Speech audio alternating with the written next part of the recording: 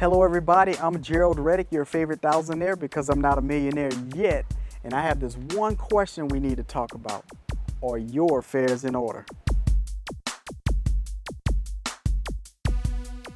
Hello everybody and welcome back to Your Favorite Thousandaire. I'm Gerald, your host, excited to share with you once again. Now we are going to talk about a topic that is kind of deep because it's a tough question. Are your affairs in order? And what I'm going to do is give you 10 things you can do to make sure that your loved ones are squared away in the event of your death.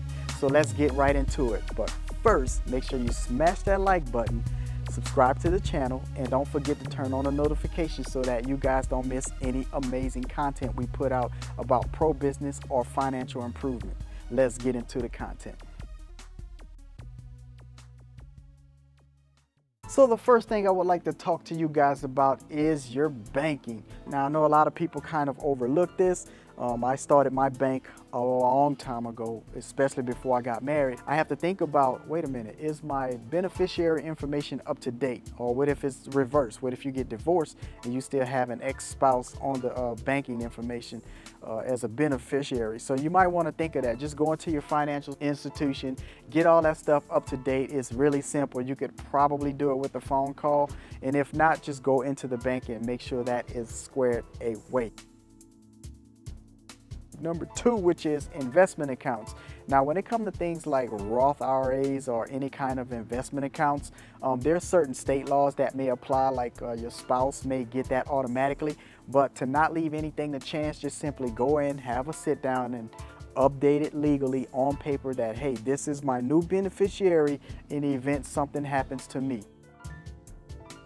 Number three, we're going to talk about estates. Now, this is kind of a big one because it involves your home, land, or even business. Now that could be a little tricky, especially with business because what if uh, the person that passes away had like a business partner? So you have to have all your estates protected as well. So make sure that you be thinking about that, like who's the beneficiary, especially if you are still paying, for example, a mortgage.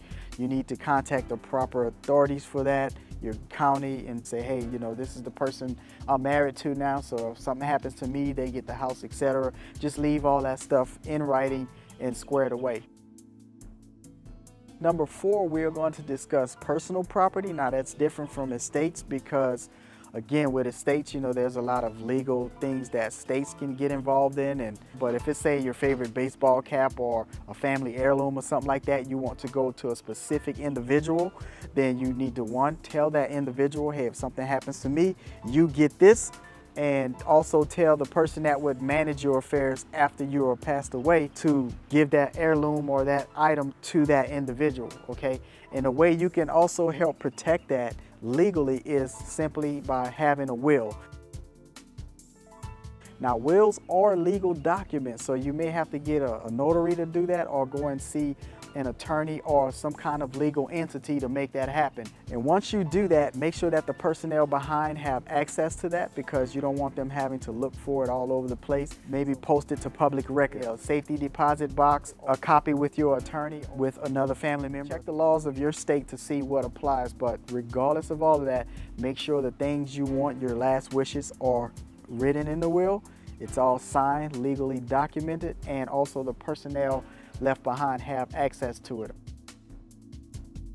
Number six, life insurance. If you have life insurance, make sure that the beneficiaries are up to date and also make sure that you read the insurance policies. And especially now, we're in the midst of a pandemic. When 9 11 happened, insurance companies start putting a terrorism clause in it, meaning if you get killed by a terrorist, attack or something like that, you may not be covered. Don't be surprised that now that we're in a pandemic that policies start to change, right? Like a pandemic clause or something like that. So if you are due to renew or update or something like that, you may want to consult with an attorney or somebody who's a paralegal to help you understand those clauses to make sure you're covered. It's all fun and game when insurance companies get out money until they have to pay out all these death benefits, right? Especially uh, during these times right now. So the next thing I would like to talk to you about here, number seven, is emergency funds. Now I'm gonna do a video just for that topic later on, but emergency funds are important because in event of a death, uh, money is not paid out right away. There is a process to it. Uh, death has to be verified Uh, some insurance companies may even want to investigate. So until the benefits are paid out to your loved ones, make sure that they have some emergency cash to get them through the tough times until the benefits kick in and everything like that. Number eight, make an emergency contact list. Now, even in married couples, they don't always know each other's like favorite cousin's number and stuff like that. We're just married and you may at best know the parents or the siblings and that's if you even have all of their contact information. With social media, I'm pretty sure you can reach out and contact somebody and stuff like that. But I think it would be much easier to just make a contact list with emails and phone numbers to say, hey, if something happens to me, contact this person, this person, this person, and then they will spread the word from there, etc., etc the passcodes, the PIN codes, the passwords, whatever you want to call it. Make sure that your loved ones have access to those because you may be paying bills online, you may have bank accounts, all kind of accounts online that uh, they may have access to or need to close because you don't want that stuff just out there. Make sure they have access to that, right?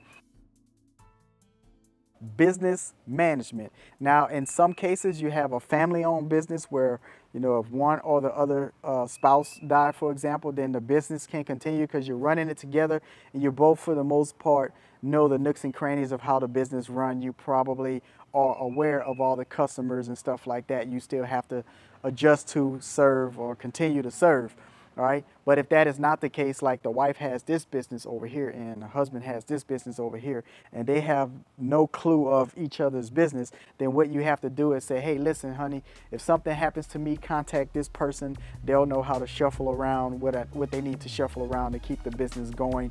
Because what you don't want to do is uh, leave your loved ones not only having to grieve, but wind up later in a lawsuit because uh, somebody didn't get served or a contract wasn't legally uh, committed to. So again, you want to put these things in place to make sure that your family is squared away. And that was it. Congratulations, everybody. You made it to the end of the video. We talked about 10 things, and that is banking, investments, personal property, estates, your will, life insurance. We talked about emergency funds, contact lists, passcodes, and business management.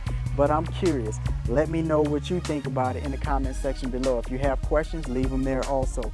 Before I get out of here, don't forget to smash that like button, subscribe to our channel, and turn on the notifications so that you're in the know when we put out new videos. I'm Gerald Reddick, your favorite thousandaire because I'm not a millionaire yet. Let's go on a journey. Let's get rich together.